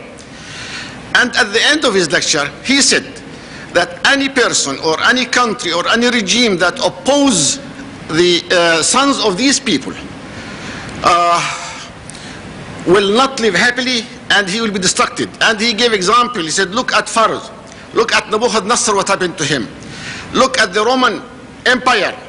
Look at the Ottoman Empire. And he said in his words, he said, look at the Great Britain. She was the greatest country on earth. Now she is an isle in the sea. And unless they regret what they have done to the Jew for not delivering all Palestine to them before leaving, they will be, become like a fisherman village. And he said, you Americans, if you ever let go your help and your assistance to Israel, you Americans will become like what other people have come. Now he was like a person dancing on rope. And all it needed was a man to tickle the rope only to make him fall down. But unfortunately, it wasn't attainable, it wasn't possible at all. Because everybody is going to die. The Roman Empire, of course, vanished. the Ottoman Empire vanished like every, every, every nation in the past. They themselves, they had kingdom in Palestine, it went away. So it wasn't an excuse, wasn't a proof that these people opposed them. And again, I was sorry that nobody could tell him about his lies. But God wanted me to give me that chance. And next evening, we were 15 people on table. Some of the people were talking about Jim Swaggart last night lecture. I pretended to be having my dinner quiet. My friend, he noticed I was the only foreigner. He said, we are talking about somebody who gave a lecture about Christianity. I said, is it Jimmy Swaggart? With loud voice. Everybody listened. The 15 people listened. He said, yes, did you see that? I said, yes, I saw it. But he was talking about 11 stars. Who are they? He said, the sons of Jacob. I said, aren't they the people who plotted and tried to kill their brother? He said, yes. I said, you call them plotters and murderers because they have committed the murder, although they did not succeed in killing their brother, they committed that. They are murderers, they are plotters. And then they went to their old father and lied to him and told him that your son was eaten by the wolf. So they are liars. Now this Jim Swaggart, I want to know why he is praising such people. Plotters, murderers, and liars. And committers of The- the- Their beginning, their beginning was like that. Everybody listened. No, it appears to me the Americans need some, need some action on higher level than is now, not on individual person to go there and lecture. It needs, because their, their propaganda, the Jewish propaganda in the States, they will spend 10 years, 15 years to build up a person like this just to say one word, and then it's finished. I wish you the best of luck. Inshallah ta'ala, Allah yakun ma'ak, and I'm sure God will bring you back victorious on, on your enemy. Thank you. Assalamu alaikum.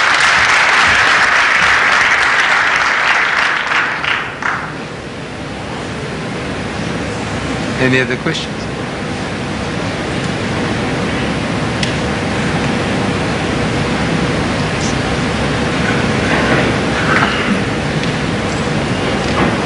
Come on, please. Oh, there's this. Mr. Deela, at this topic has been handled here about the Bible being God's word or not. I believe somewhere in Quran it says something about Injil and Torah. If it is, just to clear my uh, understanding, if it is said in Quran, could you just explain a little bit which book is Injil and which book is Torah? Thank you.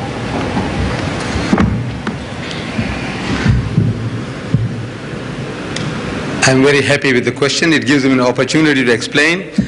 Uh, usually, when I'm delivering a talk on the subject, I do explain all that beforehand. But since the subject has grown, and since I'm going to deal specially with our friend Jimmy Swaggart on the other side, I was trying to curtail myself with regards to this topic itself. Now, we Muslims are made to believe in four heavenly books. We believe in the Torah, we believe in the Zabur, we believe in the Injil, and we believe in the Furqan. Furqan is the Holy Quran. In these four heavenly books, we must attest our belief. Otherwise, we are not Muslims. Now, when we say Torah, what is Torah? We must know what is this Torah, what is this Zabur, what is this Injil. The bulk of our people, unfortunately, they don't know. So they caught up, they get caught up with this Christian missionary, uh, you know, terminology. They get caught up in their own web. For example, the lectures that I deliver, sometimes they say, look, a lot of our Arab brethren here, they don't understand English, so it should be translated. And the best of translators so far, when I say what the Bible says about Muhammad, sallallahu the translator says what the Torah says about Muhammad in Arabic. I can understand when he's speaking Torah and he says about Muhammad. I'm interjecting. I say, look, I didn't say Torah. So he said, what the Injil says about, I said, I didn't say Injil. What's wrong with you? I said Bible and you say Torah. I say Bible and you say Injil. The Bible is not the Torah, it's not the Injil. This Bible is written by 40 different persons, supposed to be. 66 books written by 40 different authors. So, Tawrat, what is Tawrat? We believe is a revelation, the wahi that Allah Bari Ta'ala gave to Hazrat Musa salam. It was from Allah and we believe in that revelation that it was true and from Allah, true guidance from God.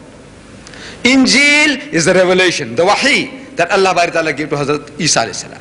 We believe that that revelation was from Allah and it was true.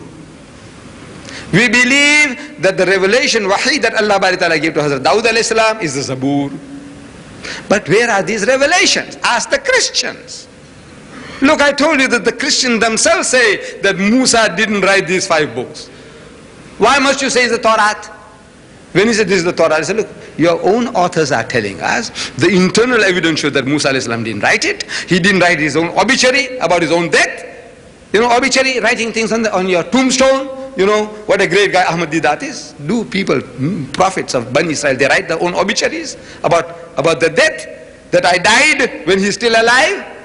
And I'm a man, I can marry a young woman of 12 or 16. Did he say that? Did he say nobody like me has yet come yet? Yet? No. So the, the, the, the books themselves bear testimony that Hazrat Musa salam didn't write these books.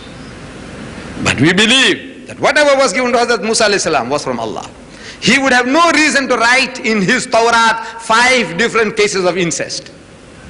What reason? A man of God has got nothing else to do. Writing incest about Lut salam, what for? For what benefit? Why would he write this? That Hazrat Lut salam, a brother in prophethood, he committed incest with his daughters. And Reuben, one of his leaders, one of the, uh, our brother said just now about those 11 stars, one of those stars committed incest with his mother. The other star, the star, the other star, he committed incest with his daughter-in-law by the roadside, Judah. This is the record. Committers of incest, liars, murderers. Look, astaghfirullah, I don't believe that. Except what the Quran says that they did plot against Yusuf salam, and they did throw him into the well, and they wanted to destroy him. And then they wanted later on, they wanted to sell him also. And they lied to the father, all that. I accept what Allah says. But committing incest with his daughter-in-law, this, what, for what purpose? You going to say that Musa salam wrote that? Hazrat Musa salam? No. We say Taurat is the revelation which God gave to Moses. If you can produce that, we would be prepared to give it a look. Injil is the revelation that Allah gave to Hazrat Isa salam. And we read, now the Christians when they translate the Bible into Arabic, they tell you, Injile Matthew. It means Injil of Matthew. Injile Marcus. Injile Lucas. Injile Johanna. I am asking, where is Injile Isa? We are made to believe in Injile Isa, the one that came to Isa, not Matthew, Marcus, Lucas, Johannes, Johannes. Can you see? But you are so blind, so foolish. You say, well, this Injil, Injil. This is not Injil. The Bible says that he went to a certain place, Hazrat Isa salam, and he preached the Injil. He went to another place and he preached the Injil. He went to another place and he preached the Injil. Said, right? Did he carry a book under his arm?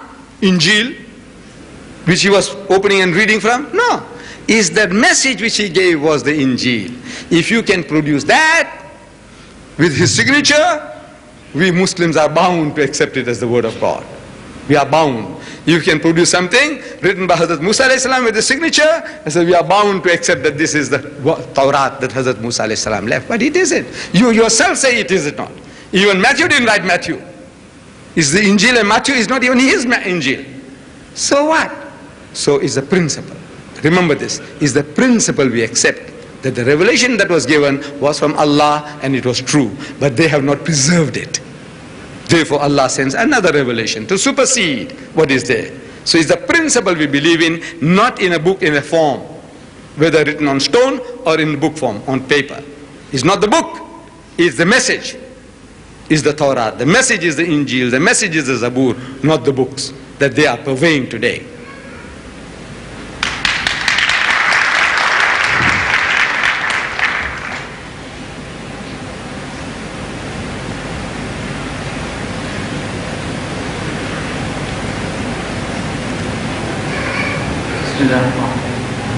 Uh, Mr. Ahmad, you yesterday I heard the lecture and today also Uh, you used Bible to prove that Ahmad was coming. In Bible, you said. And there is a debate on same Bible. You are going to prove that it's wrong. So are not you contradicting your own Yes. statement? Yes. Uh, the question is that we are going to use certain, like last night, I used verses from the New Testament from which I proved that the, our Nabi alaihi wasallam is still mentioned in their book. It's still there. In the corrupted book as it is, it's still there. So now if I use a verse from the Bible, does that, do I not contradict myself? One stage I say, this is not the book of God, and the other stage I use it to prove my case. You see, the Bible, we say, have four different types of evidences in the book. Four different types. In the Bible, if you study it, you'll find there is the word of God is there. Allah's kalam is there. The word of the prophet is there. The word of the historian is there. And many other things beside is there. I was showing you. There are four different types of evidence in the Bible.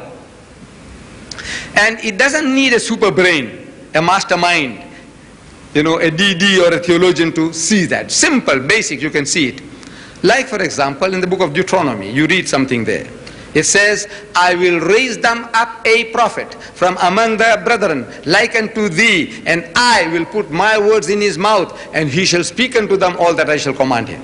I will raise them up a prophet. Who is this I? The Jew will tell you God. Who is this I? The Christian says God. The Muslim, if you read it, you can also see it's Allah talking. This is not the word of Moses. This is not the word of a historian. This is the word of God. I says, أقيم لهم نبيا من وسط إخوتهم مثلك وأجعل كلامي في فمه فيكلمهم بكل ما أوصيه به This is who's talking? It's a God is talking. We can see it on the very face of it. Another place in the book of Isaiah in the Bible, it says, I, I am God and there is none else. I am God and there's none like me. Who's talking? Allah Bari Ta'ala. Speaking through this prophet called Isaiah, he's speaking about himself. These are the words coming from the lips of Isaiah, but they are not his words. These are the words of God. He's speaking as a mouthpiece. So there is this type of evidence which you will be able to recognize in the Bible. Then you will also find another type of evidence where the prophet of God is speaking. Like Jesus, he says, he says, it has been said by them of old time, thou shalt not commit adultery, but I say unto you, whosoever looketh upon a woman to lust after her had committed adultery with her already in his heart. But I say unto you, who is this I? Jesus. It has been said by them of old time that whosoever puts away his wife, let him give her a bill of divorcement. But I say unto you, whosoever puts away his wife, save for the cause of fornication, causes her to commit adultery, and whosoever marries her that is divorced, committed adultery. Who is this I? Jesus. It has been said by them of old time, an eye for an eye and a tooth for a tooth. But I say unto you, resist not evil. He who strikes you on the right cheek, give him the other. Who is this I? Jesus. There's another type of evidence shahada. Then there is another type of evidence which says, while he was going forth into the way, he, Jesus, he was going forth into he, Jesus, saw a fig tree in the distance with leaves. Happily, he, Jesus, came up to it, wanting to find figs thereon. But when he came up to it, he found nothing but leaves. He found nothing but leaves. Jesus found nothing, for the season was not yet. Who is this talking now? Not Jesus, not God, but an eyewitness or a ear witness or somebody speaking from hearsay, a historian. See, another type of evidence. Then there is the other type of evidence which I dare not read it to you. From the book of Ezekiel, my South African Christian government, they banned extracts from the Bible as filthy, dirty pornography. I didn't have a chance to deal with it. Pornography. So now you have the word of God, you have the word of the prophet, you have the word of the historian, and you have pornography, all in one book. Now you can't take the book and say, this is the book of God. But the word of God is there, the word of the prophet is there, the word of the historian is there, and pornography is there. Now we also have something similar. In Islam, we have Kalamullah, the word of Allah, the Quran. It is only Allah's Kalam. Then we have the books of Hadith, words of the Prophet, separate volume.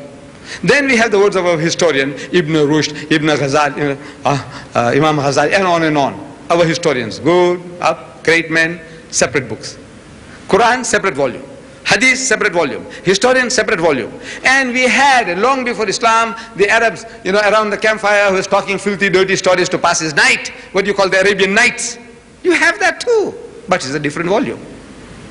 See, the Quran is different, separate compartment, Hadith separate, history separate, pornography separate.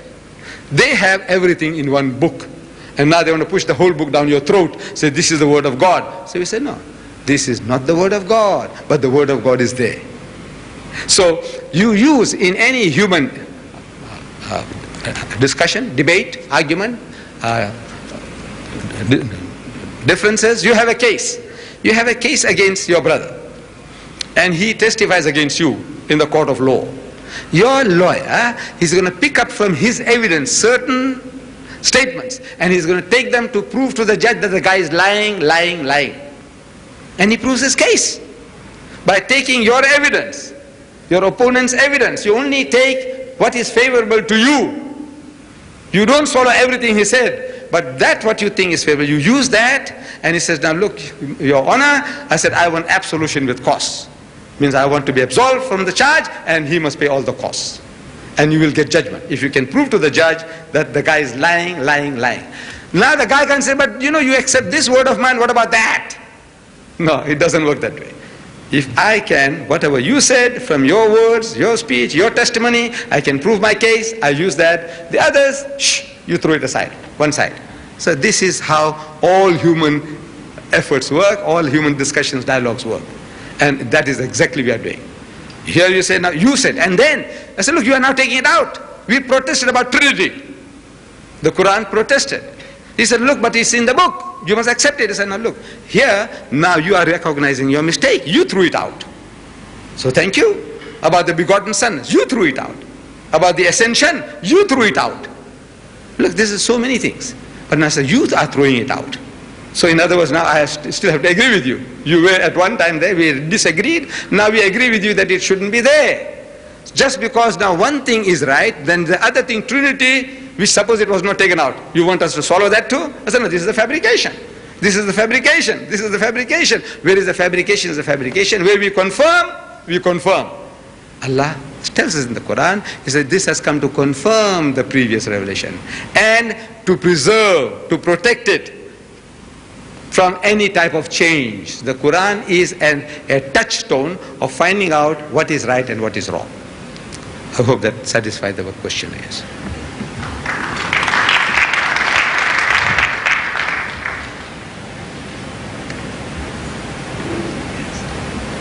We'll say now two more questions. One, so then they will know. Otherwise, they can carry on till all night.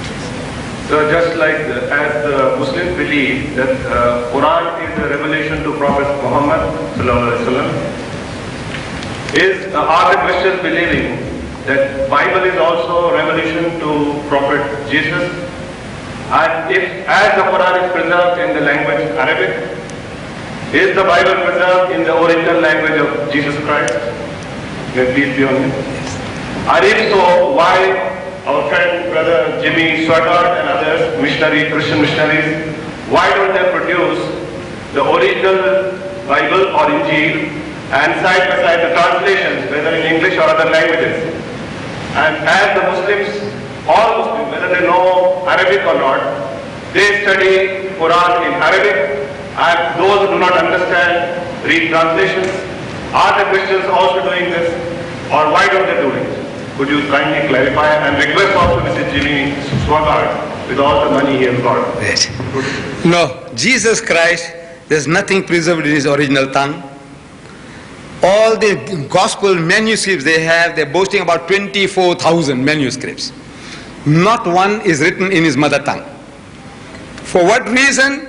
That a Jewish prophet comes to Jews speaking the Jewish language, of which they gave samples, examples in the book that he spoke Jewish, like the word Salitha Kumi, damsel arise, Ella Ella lama sabachtani, and to Saul, Paul, he speaks in the Hebrew language. The Bible says so, he spoke to him in the Hebrew language. Then why should his words be not preserved in Hebrew? It's a mystery which the Christians must solve, not for us. The fact is, it is not there. Jesus didn't write a word. In his lifetime, not a word was written. He didn't ask anybody to write anything. This is how good it is. So that is the answer. And I will give one more chance, one more questioner, and we will have to close the meeting after that. One more questioner, whoever it is. Yes, Akhi, you can come forward and you can ask the question. The last questioner. Or last two. The other brother had got up before and he went and sat down. Last two. I hope you don't mind. The audience, last two.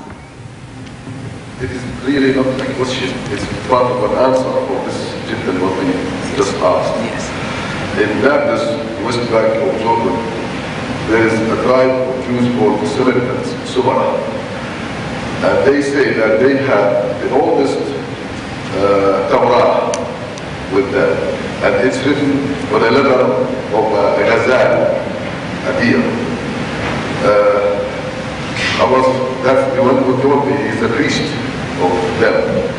And he told me this has been written after uh, Moses died with 13 years. So I said, okay, I believe you. But what you have changed, what you add and what you take off. He said, A'udhu Billah, we never did that. So I told him, your great grandfather, Sadi, he made a book, a question, when Moses was alive. And then how he not change the Bible. He says, no, that was not the Samaritan who did it. Herod who did that. Collect all the gold, they throw the fire, came said, oh, your.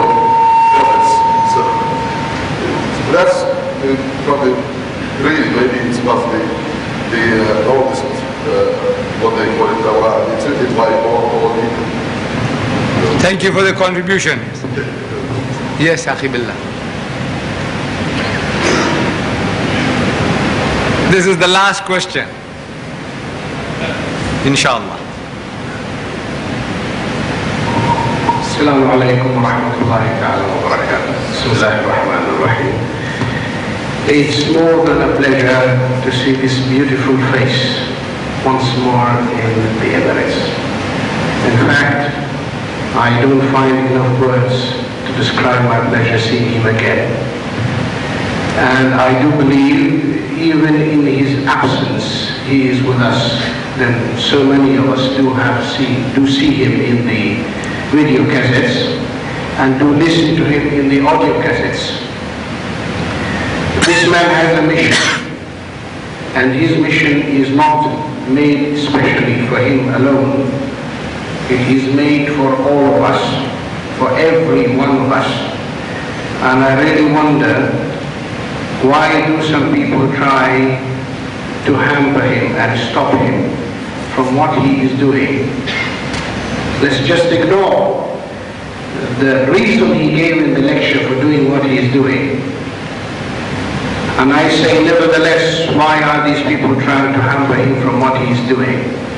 Because most of us, we, those who have the book before anybody else, have that conscience. We don't like to see somebody coming from South Africa and talk about Islam. We think we have monopolized Islam. This is a wrong idea. We have to get out of our heads and we have to face reality and we have to face facts. He's going to face a man in America about is the Bible God's word? Attack him in his own home, in his own subject. And what do we do? We tell him, we Muslims are not yet good Muslims. We have to be good Muslims. How many centuries will it take us to be good Muslims? It's astonishing. It's astonishing. If we keep on with this logic, we will never be good Muslims and we will never go outside our own doorstep to reach the others. And our Prophet Muhammad sallallahu alayhi wa sallam says, بَلِّغُوا عَنِّي وَلَوْ بِآيَةٍ convey the message further from me even with a single ayah of the Quran. Be it Allah. And they wonder, what type of defeatism are we living in? Don't we have conscience? Don't we have feelings? Don't we have faith anymore that we disobey the orders of our prophet? For whose sake are we doing this? We are receiving all the kufr methods pouring to us through television, through magazines, through goods, through consumption. We are doing nothing against it. And when we find one man whom we hope that God will give him long life, long life, long life, to keep on doing the thing he is doing because it is good and because we're not doing it. When we find such a man, we should give him support. I'm really asking all of you to give that support. And the support you can give to this man is to study his works, to listen to his audio tapes, to see his video tapes, and to follow his arguments, memorize them, use them. I think that's the best method. Now I have a question, a very small one. Is it not time that we should ask the question, is the Quran God's word?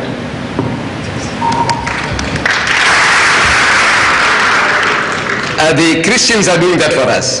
They are coming now into our homes and they are challenging us about the Qurans. You see, we ourselves, we didn't wake ourselves up, but the enemy, Allah is making them to prod you to study the Quran. I could have given you numerous, numerous examples about the methods, how they use the Quran against the Muslim.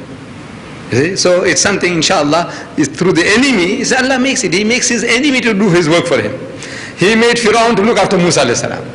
You know, that's his job, that he can do it. So now is the Christians, they are now making you to read the book, the Quran.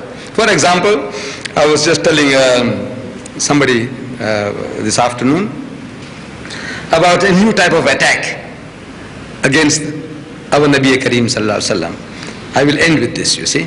The new type of attack, they said, you see, your Prophet sallallahu alaihi wasallam, the Holy Prophet Muhammad, he was not only an ummi, unlettered, but he was also a jahil, ignorant.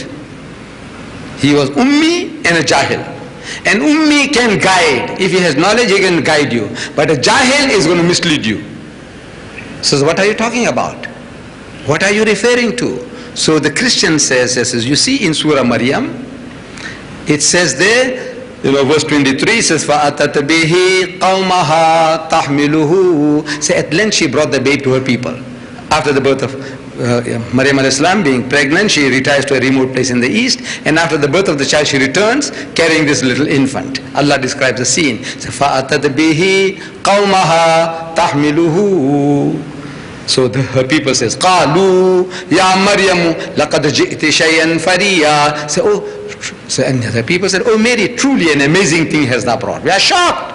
Ya ukhta Haruna, O sister of Harun, ma kana abuki imra'a wa ma kanat ummuki. Said, your father was not a man of evil, nor was thy mother a woman unchaste. How is it that you brought this child without a husband?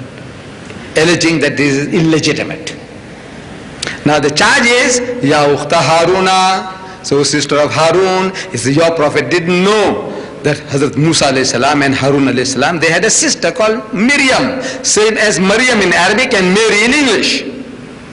And Hazrat Isa salam has a mother called Maryam, Mary or Miriam, same. But your prophet is getting confused between that Maryam and this Maryam. And the gap in time is 1300 years between that Maryam and this Maryam. Your prophet didn't know the difference. So our learned man says, no, you see, this is a, a, a beautiful way of showing her relationship. Maryam alayhi salam was a very, from the leading, the, the daughters of among the uh, imams of the Bani Israel, Hazrat Harun alayhi salam and Musa alayhi salam were Levites and imamat was a family tradition. It was a family tradition and in that family tradition Maryam salam is born. So the charge is you come from such a noble priestly family, your father was a good man, your mother was a good woman, how is it that you brought this child without a husband? And we Muslims, we agree with the argument. Beautiful. Beautiful explanation. But the Christian nods his head, he says, no, no, you're whitewashing your prophet. He didn't know the difference. So now, see, you have to put on your thinking cap. He's attacking the Quran. So if you know the enemy's book, as Allah is commanding you to know is a kul hatu burhanakum, produce your evidence, He's produced it, use that. So in a meeting like this, a Christian missionary threw this at me. So I said, you see, the answer to your problem is in your book. It is in your book. He said, where? I said, the first book of the New Testament. Chapter 1, verse 1. 1, 1, 1. You'll never forget when you have three aces in a game of cards. You know, three aces. This is a sure win. You know that. Three aces. There's only one left and anybody can have that. You got three. Says, First book, chapter 1, first book, chapter 1, verse 1. He said, what does it say? I said, it says, this is the generation of Jesus Christ. Means his genealogy, his birth, his ancestors, who they were. The son of Abraham, the son of David. I said, right. He said, right. The book says the son of Abraham. Isa is the son of Abraham. He is the son of David. As in the Gospel of Luke, it says he's the son of Joseph. In the Gospel of Mark, it says the son of God. So Abraham is his father, David is his father, Joseph is his father, and God is his father. A person who's got four fathers, what do you call him in your colloquial language, in the street? He said, no, no, no, it doesn't mean that. So what does it mean? You tell me now. He said, no, you see, he comes from that um, noble family of Ibrahim alayhi salam. He comes from the kingly family of Dawood alayhi salam. He is supposed to be the son of Joseph, but really he is the son of God. So I said, look, you have to go into all that. But the book doesn't say that. He's the son of Abraham, Abraham is his father. Son of David, David is his father. Son of Joseph, Joseph is his father. Son of God, God is his father. Four fathers, a man with four fathers. So you see now you have to defend yourself, and the best defense is attack. Jazakallah.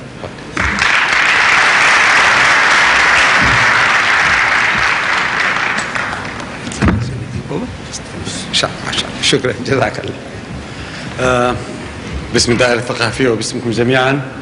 آه نشكر الداعي الإسلامي الأستاذ أحمد ديدات على هذه الأمسية الطيبة ونرجو أن نلتقي آه في مستقبل الأيام. داعين له بالتوفيق في جهوده لنصرة الإسلام. وأرجو أن أنبه إلى فعاليات الدائرة الثقافية خلال الشهر المقبل.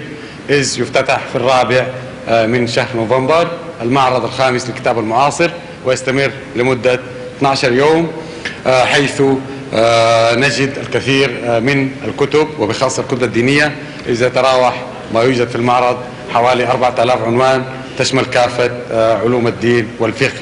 وبجانب معرض الكتاب هناك العديد من التظاهرات الثقافية المصاحبة للمعرض ونرجو أن تحظى دائما برضاكم. Thank you very much for your presence and we thank Mr. Deedat for this lovely evening. Thank you very much.